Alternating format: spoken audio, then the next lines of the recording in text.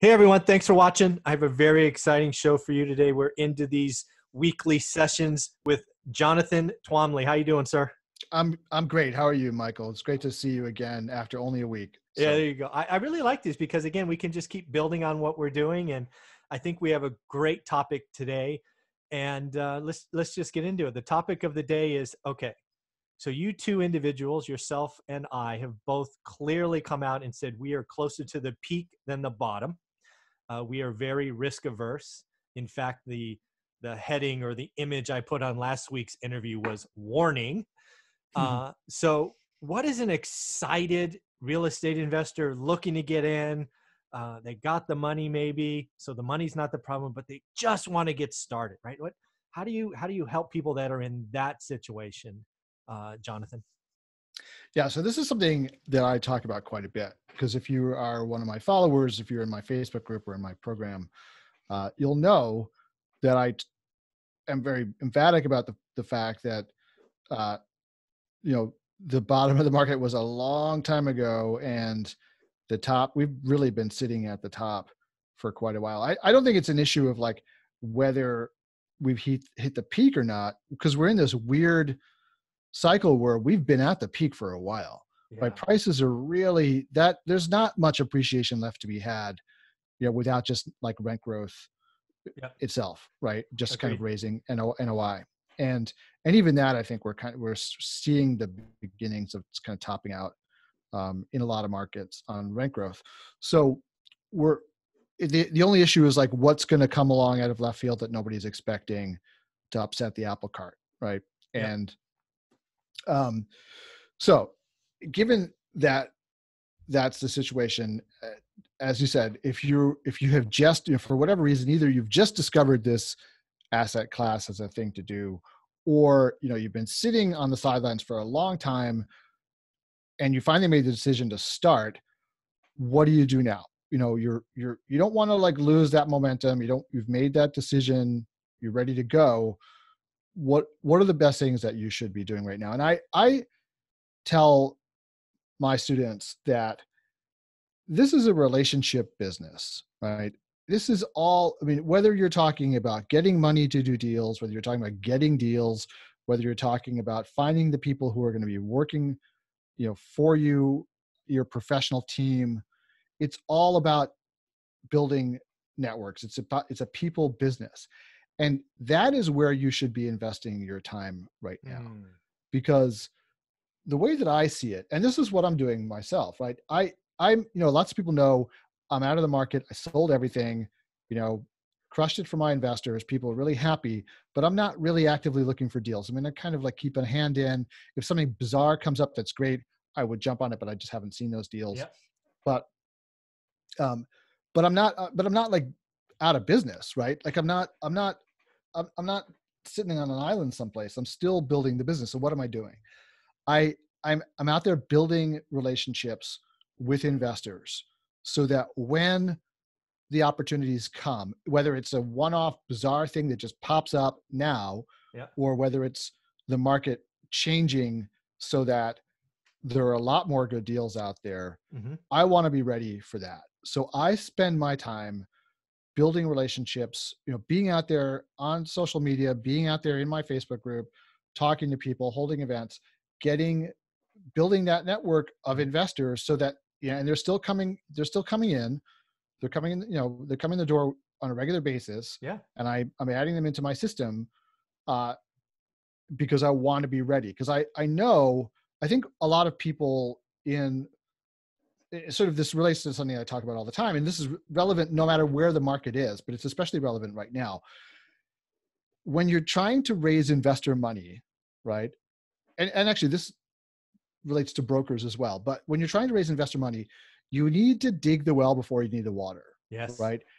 You hear all the time, and I heard it and and believed it and made the mistake years ago that if you find a great deal, the money will find you, right? You hear this all the time. If you yes. find a great deal, the money will find you. It's not true unless you've invested the time in building the network first, right? The money's not going to, like, if, if you find, you can find the most awesome deal in the world, but if you have not built the relationships first, you know, the, the money's not going to just sort of come out of the wall somehow, right? Yeah. You know, like you're not going to turn on the faucet and there's going to be the money. Yeah. Right. Even if you do meet some investors, they're not going to believe that the deal is as good as you say it is Yeah. because they don't know who you are. You have no credibility. Yes. Right. So you have to spend time ahead of time building that credibility, building those relationships so that when you do find that good deal, you're going to be ready to move on it and, and the money will come. Right. And you have to understand it's also a numbers game. You know, you Mm, I think what happens to a lot of people is, you know, they talk to five friends. The five friends all say, "I I want to be in on this. I'm going to give you a hundred thousand dollars to invest," and you're like, "I've got five hundred thousand dollars to invest." I guarantee what's going to happen is you're going to find that property where you need five hundred thousand dollars of equity, and four of those five guys are going to say no to you. Yeah. And the reason is going to be not that they've changed their minds about real estate or they've they changed their minds about you or anything else. Life gets in the way exactly. they're going to tell you something like what they in the same situation what they told me was yeah jonathan you know my wife and i decided that we're going to take this money and buy a new house Yep. right or we're going to i need the money for college tuition or i need the money for something else or Yep. i just lost a ton of money in the stock market and i'm feeling uh, anxious about investing right now or you know i had this unexpected expense whatever it is Yeah. that's what they're going to tell you. The one guy is going to be ready to go, but the other four are going to say, "Show me the next one. Let me just keep me in the loop." Next one. Yeah. Exactly. And so you have to really have, like, to get that five hundred thousand, you need twenty or thirty or forty people who have promised you that hundred k yeah. to make sure that you can close. And so you should be building that network. And now is like the ideal time to be doing this. Yes. And I'll tell you why. The, the reason that right now is the ideal time to be doing this is that so many people out there they're hot for real estate. They want to get involved in it. They're they're willing to hear this story from you right? They're willing to hear about how great multifamily real estate is because they're not as sophisticated as you are. They're not looking at the market. They don't understand the market's overvalued.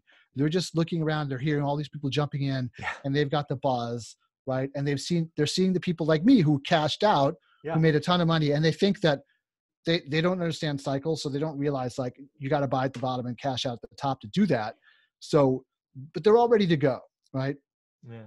so they're open to that conversation now for you to get to, to bring them onto your platform and you know what you can do is do something different than what everybody else is doing which will help you stand out and it'll build your credibility which is to say to them i want to you know i'm i'm building this business i want to be i want you on my platform but i don't think now is the greatest time in the world to invest Yeah. right Yeah. everyone else is saying it's the greatest time in the world to invest but it's it's it's this is why i believe it's not and you tell them and because you're giving them not only a different message but you're giving them a message that is like i don't need your money now i don't want your money now Right. uh, i don't think it's the right time right it's not a self-serving message Mhm. you're going to build your credibility so much more than if you just went out there and you were rah rah rah pumping deals so now is the time to be building and getting ready this is it's a great great time to be doing this i can't emphasize enough like what a what an opportunity you have right now to know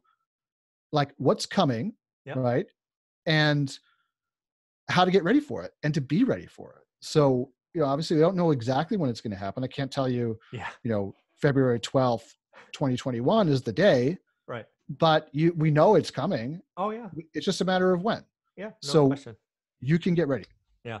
So a couple of things. We've talked about your Facebook group a couple of times. So let's plug that real quick. Where can they find you? Because people watching this are going to want to check that out. Yeah, so the Facebook group uh, is called Multifamily Investment Community, and you can find it just by searching for it on Facebook. But I'm going to warn you about something, which is that uh, this is a really curated group. I'm very strict about who gets in. Yep. And I actually posted the other day that my stats for 2019, I admitted f- about 3,700 people. I rejected almost 2,000 people. Yeah. And the way that you get rejected is by not answering the questions that are asked when you try to join.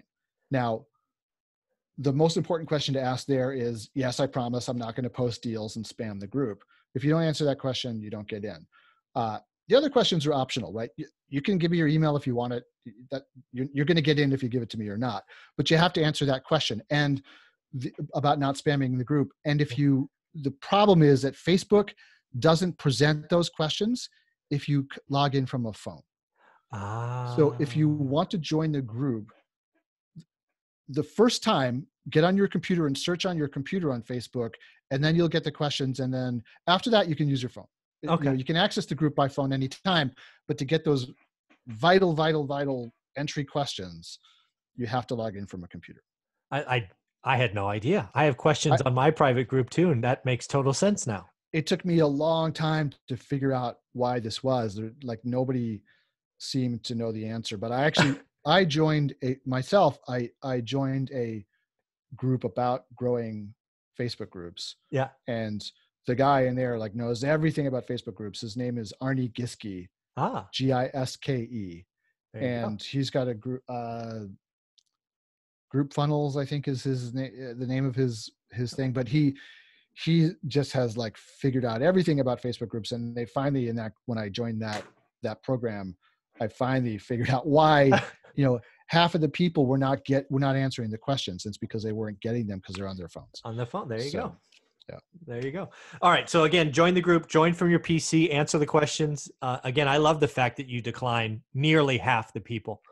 Um, It's about keep, forty percent. yeah, yeah. you keep it clean, uh, which is which is very very cool. And when if people and people and there are people who think they're slick, right? yeah, And they say they say they won't spam the group, and then like their first post is spammy, yeah, and delete. they get they get removed and blocked. I mean, Yep. those people, there's no second chances. So Yeah. I know, love that. I love that out. about the group. Yeah. I I uh, I lo- and then you also have daily questions, which I always I think is a lot of fun. Yeah, the daily questions are really fun. Um, they're mostly about real estate, but sometimes I try to mix it up and talk Yeah. about other other things. And you know, so uh, it's it's just people really like them, and I do fun stuff in there. Like, you know, I I really, as you know, Michael, like I I take on the the gurus with their high price programs and they're you know posing in front of the private jet they Oh God, yes. rented for the day or the Lamborghini. so I I also period I try to do this every week, but I can't always find the time. But I I have a uh, very obviously fake, not even well photoshopped picture of a Lamborghini, and um, I offer rides in the Lamborghini. Yeah, the orange the people- Lamborghini Yeah, the it's the yellow Lambo. or yellow. It's yeah. it's the it's the rented Guru Lambo. I offer rides in the Lambo to people who have been really active in the group over the last, you know, week or month or whatever. So yeah, I always I get remember- a good chuckle. when I remember to do that, I got the private jet. I haven't let anybody ride the private jet yet, but um, I'm thinking if somebody does something really special in the group, I will offer them a. I will take out my wife's picture from the private jet and put theirs in it. oh, that's awesome. So Again, these are the kinds of things you get. I like the daily stuff. It's very thought provoking. Uh, it's always related. I love the pictures and the co- comedy you bring to it, the rented Lamborghini and the private jet and all that stuff. That's that's it's awesome. But let's get back to the topic at hand. sure. Right. Interested in the market, have the money, which is a very dangerous combination. I think that is actually the most dangerous, right? You've got a hundred grand or 500 grand or whatever it is. Your stump, your company went public. You got a big commission. You sold your house. You got an inheritance, whatever it is. And now you're excited, right? You saw, you saw, you maybe saw one of us and, and, you know, we bought at the bottom and sold at the top, but you think it's easy. So you're talking about networking, growing your network. Uh, I think one thing you brought up, I want to dive in deeper is building credibility, right? Yeah. How do you build? How have you seen people build credibility, right? Because you have it because you did deals, right? And you have a track record. But if you're coming in today and like today's day one or day 30, how would you recommend you build a track record? How do you point to it, it being the top, right? What, what, would you recommend?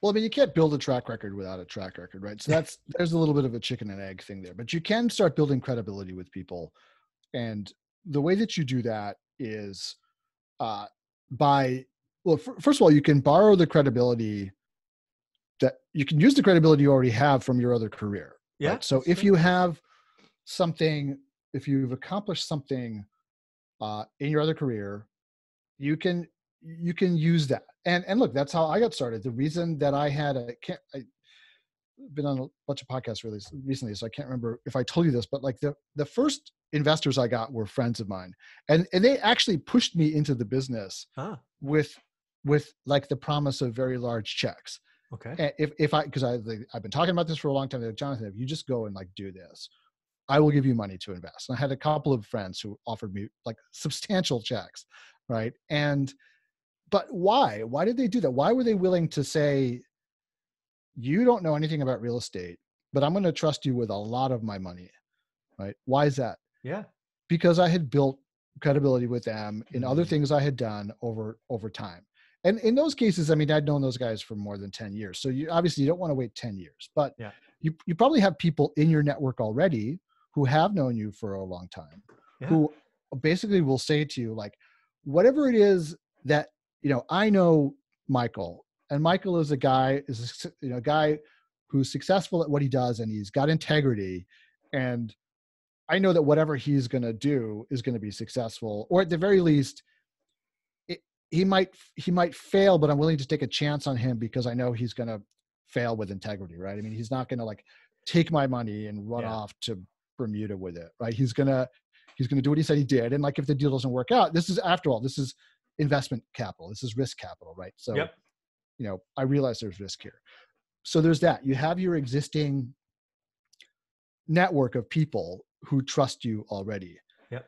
But then you've got sort of the next layer out, and those are going to be people who, like that first inner ring, introduce you to Yep. because you get the credibility. You know, whenever somebody introduces you to someone else, you get their credibility essentially. Like that person is vouching for you, and their reputation travels Sure. with with you to the next person then you obviously have the opportunity either to build on it or to lose it but you you walk into that relationship if you have a personal introduction with the credibility of the person who introduced you. So this is important to remember that this works not just with investors but with brokers and other professionals too.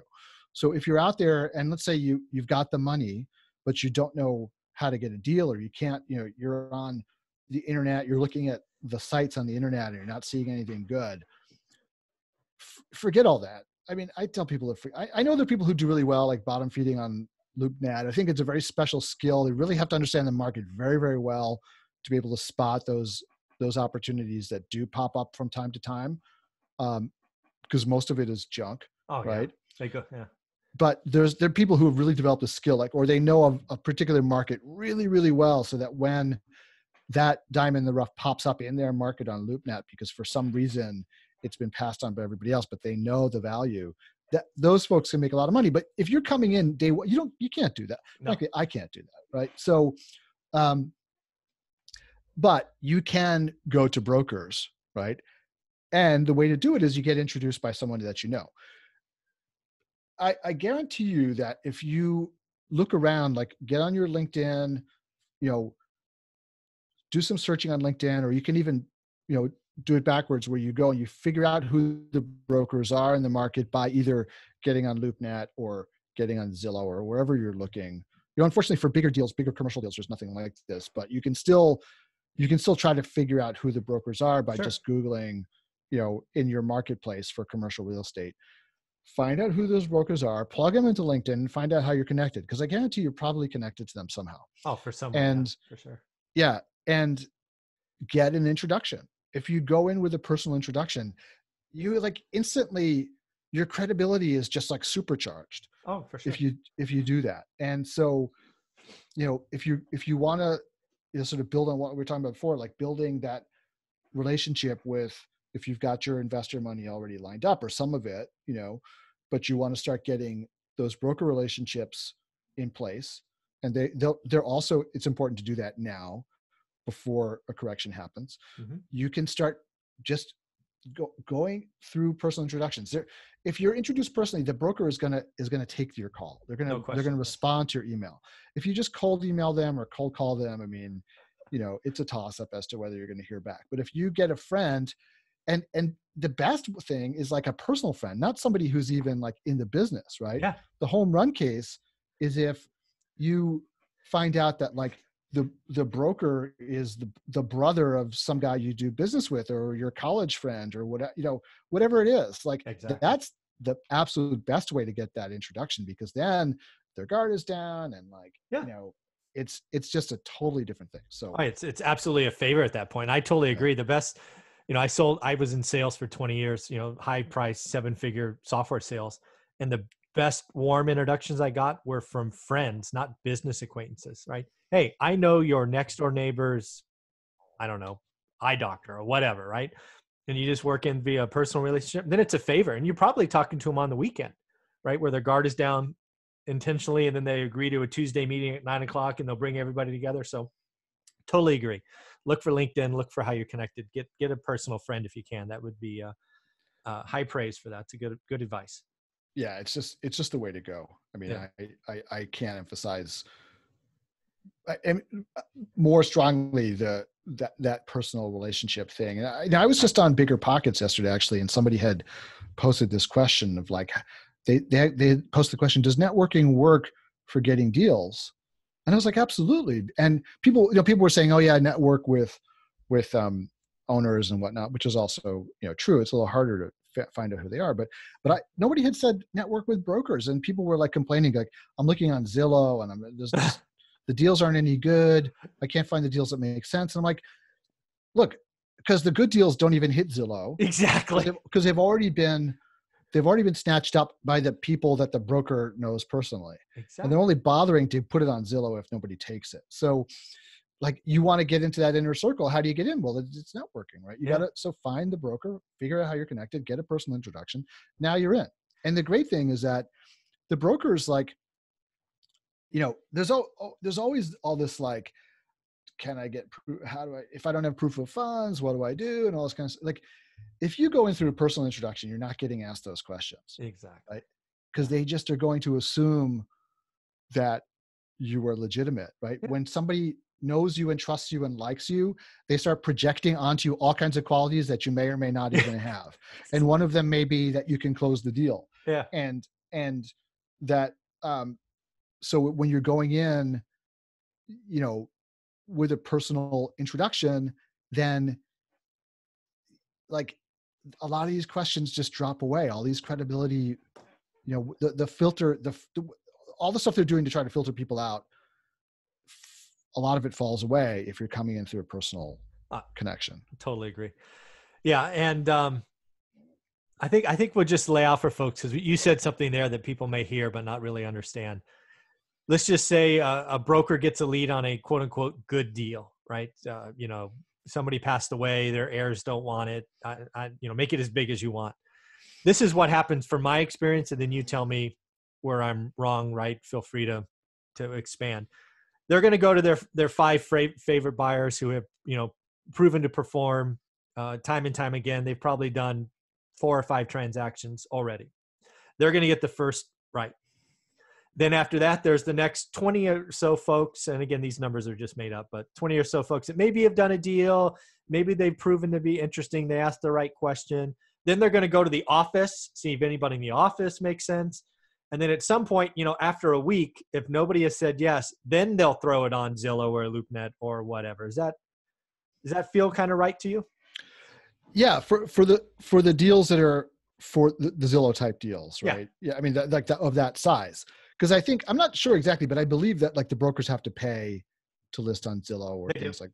So so why are they going to want to? They're not going to want to incur that expense if they can, and or any marketing expense. No, frankly, any. Right. That's yeah. that's where you know people people are always like I'd say brokers brokers get a really bad rap. And and part of it is deserved because there are a lot it's a there's a low barrier to entry and a lot yeah. of people are in the business who have no business being in it and they will drop out quickly and and you might be unlucky enough to like deal with them in in that like 6 month span that they're sure. in the business, right? But the good brokers they really know what they're doing and they can they can make your career if oh, you oh, no question if you have um good relationships with them right so they know the market they you know and and they they know the deals they know the sellers right? So th- these people are, are like gold and you should treat them that way. But um, the the the thing that i think a lot of people don't really understand is that you know brokers are entrepreneurs and they are investing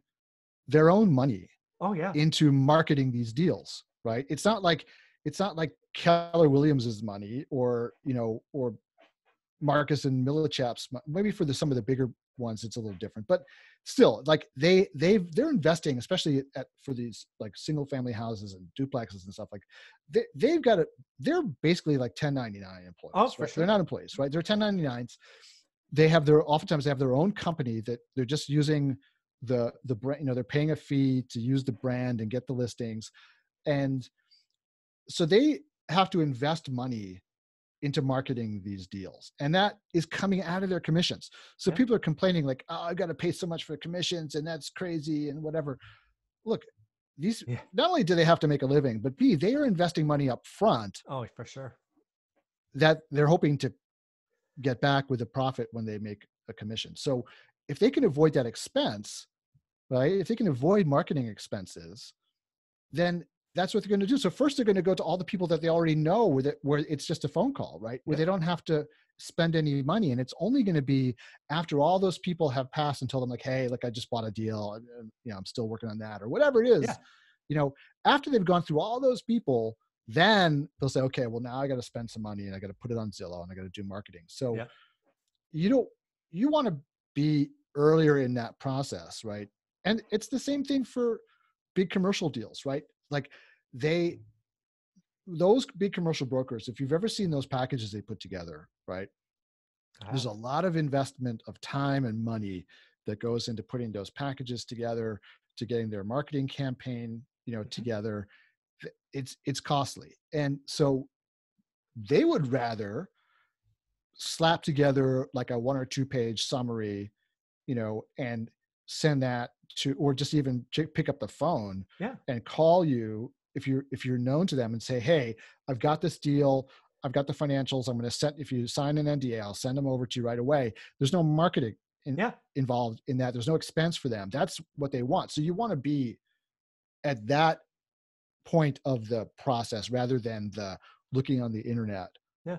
point of the process, right? T- totally agree. You want to be involved before it hits the mass market. Anytime there's lots of eyeballs on it, you know, competition goes up. You've already you- you you have to realize a lot of people said no already. Yeah. Right. And and the thing is like people act as if there's some kind of like mystery Yeah. to getting onto the broker's list. And there's no mystery. It just involves a little bit of work. Not even Yeah. that much work, but it involves, frankly, more work than most people, you know, most of the people that are on bigger pockets or wherever, they're like armchair investors, right? They're not actually ever going to do anything Yeah. and the, and then those are the people who get on the internet and they're like oh i can't find a good deal oh what's the secret and then and then you know they're willing to like go and pay 10,000 bucks sometimes to some guy or Yeah. 20,000 bucks for secrets right yeah. about how to how to get broker deals i'm telling you the secret find the broker get a personal introduction that's the secret right Yeah, Exactly. and it takes and go like go meet with them go to their office like you know or frankly i'll tell you like well here's a secret right if you're investing out of town you know what the magic words are for getting a, a, a meeting with a broker what? what, what do you think Uh, I'm going to be in town on Sunday the 15th. Uh, I'd like to meet you at 11 o'clock. i'm flying in Yes. right Yeah. I'm, I'm going to meet in- you in person. Yep. yeah i'm flying in and i'm going to be there for a day and i would like to meet you while i'm there Yeah. right and like those are some pretty powerful words Yeah. because Exactly. you're a you're showing that you're making effort b you're you're scarce because you're only going to be there for one day Yeah. right and and so these are kind of like the these are like psychological triggers that act on people like it's very i mean just as an i go i have a tendency to go off on a tangent. So i'll just tell you a little story about how this works in a very different context. So about 20 years ago i uh when i was still a lawyer i decided that i was tired of being in new york. I wanted to move to boston.